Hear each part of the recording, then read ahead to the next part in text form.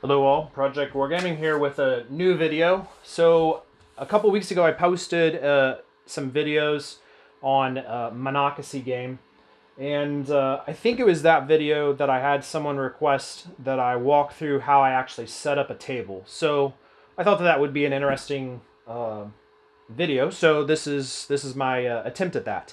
Um, I set up my tables primarily for smaller scale battles. Six millimeter stuff is really what I'm playing most of now.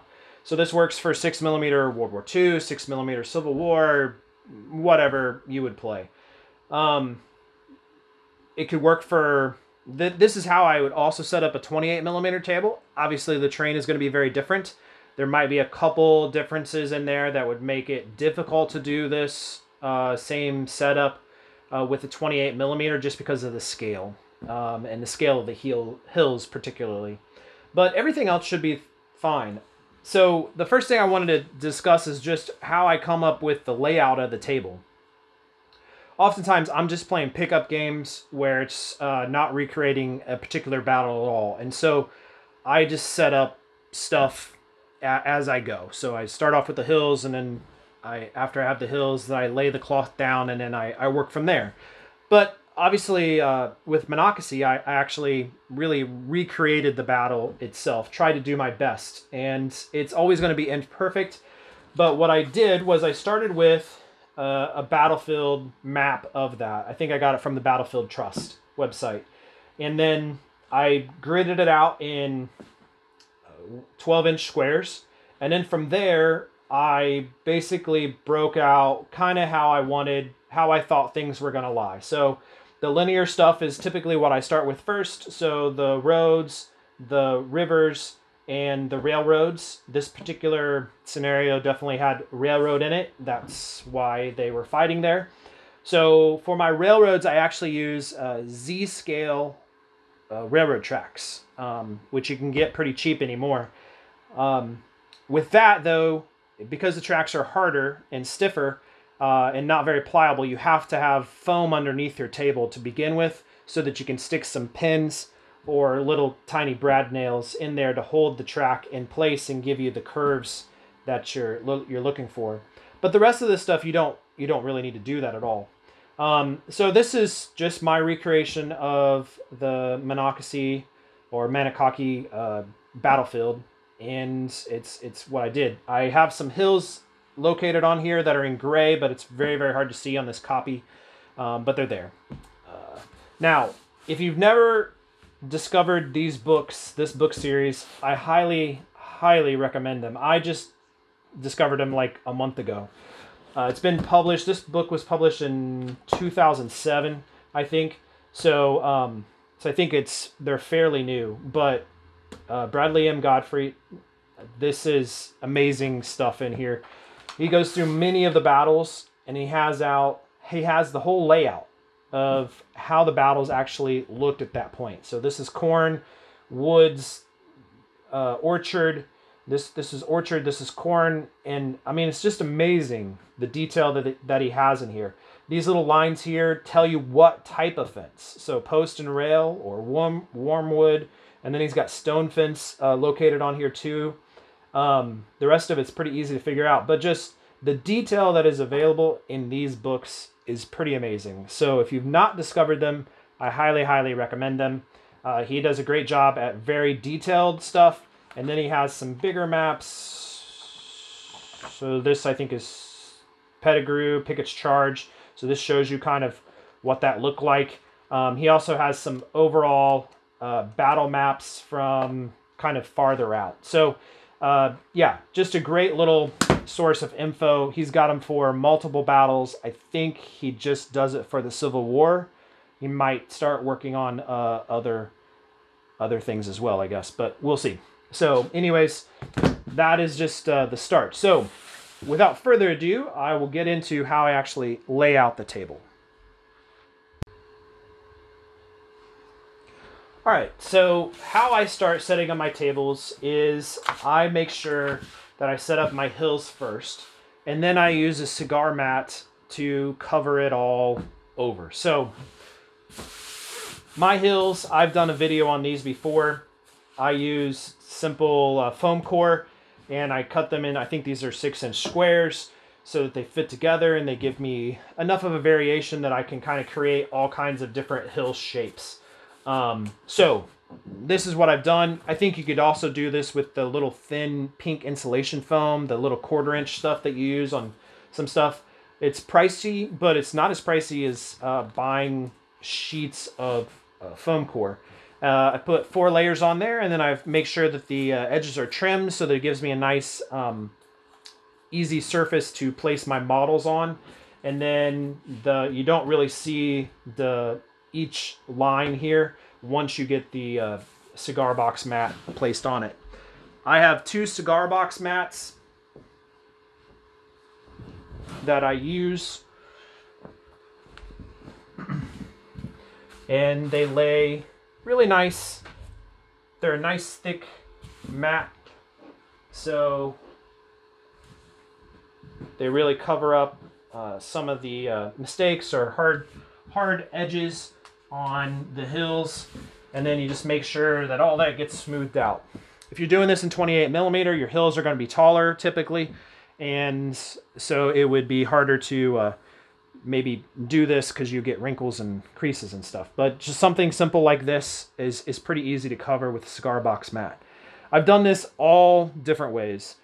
I've, I've done it where I started off with just playing on a, uh, a floor and using a big green cloth when I was, you know, a teenager and making blocks and squares for my my hills and then I worked my way up to interlocking foam panels that I flocked and everything that give them in my hills and all of that.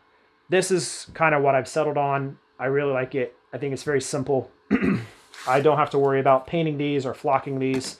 Uh, the ground all looks similar and it works perfect for six millimeter as far as I'm concerned. So once you have the hills laid out and all of those in place, the next thing I go to is the linear kind of obstacles. So the rivers is first, and then I go with the roads after that. These are, again, uh, rivers that I've made. I think I have videos uh, from over a year ago on how I actually made my rivers on my channel, so you can do that. Sometimes I flip them around just so I can get a cleaner edge uh, butting up against each other. So that is my rivers, and then I come in with my roads. So when a road intersects a river, I either keep it on top if I'm going to put a bridge over it. If I'm not and it's a ford, then I put put the road underneath of the river. If I'm able to, I try to get my seams for my rivers to fall underneath bridges or um, other obstacles so it doesn't stick out as much. And then my roads, I typically put one tag end underneath another and then I will even try to cover up those tag ends with another one so that it's I have as as few seams out there on the the board as possible. Uh, the next thing I do after I have these all laid out is I will typically come in for my forests. So my forest, I have a video on these where I went in and actually uh, paid someone on Etsy to print this off on uh, cloth uh, all it did was take an image off of uh, Google Maps and um, just a little section and then spread that out over a big, huge cloth and tried to scale it so that it looked somewhat uh, correct for six millimeter troops. And I just lay that out. If I have a, a road going through a forest, then all I do is lift it up and put it back in the same spot. Uh, same thing with the rivers. So I might want that uh, to go through there. I'll come through, lift it up, and just lay it back down so that my linear obstacles don't get uh, messed up. Um, and then if I need to overlap, because I just cut them into generic shapes, I overlap them. And with that texture, they really blends in. You don't really see them the cloth is thin enough it doesn't really stick up sometimes felt becomes really thick and there's the felt is almost as thick as the bases so um, this lays nice and flat the next thing after i get uh, where my my hills or my my forests are going to be placed is i come in and i do my fields. So I start with my cornfields. I lay those out and I make sure that they are uh, kind of facing the same direction. And then after I have my fields placed,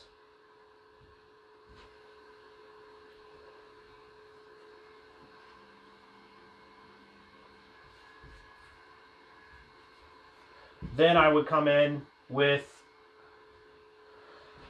my fences and I would do that. Now, the trick on this is I've cut my fields to match my fence lengths so that I have enough kind of play in here that I can easily manipulate them and it doesn't I don't have huge little uh, ends coming off of of my fences so it doesn't look uh, really uh, trashy I guess um, sometimes you'll also want to have areas particularly with the Civil War where it's just uh, open pasture so you know you can kind of outline them however you like and you're a little bit freer in manipulating how your fences sit when it comes to uh, pasture areas.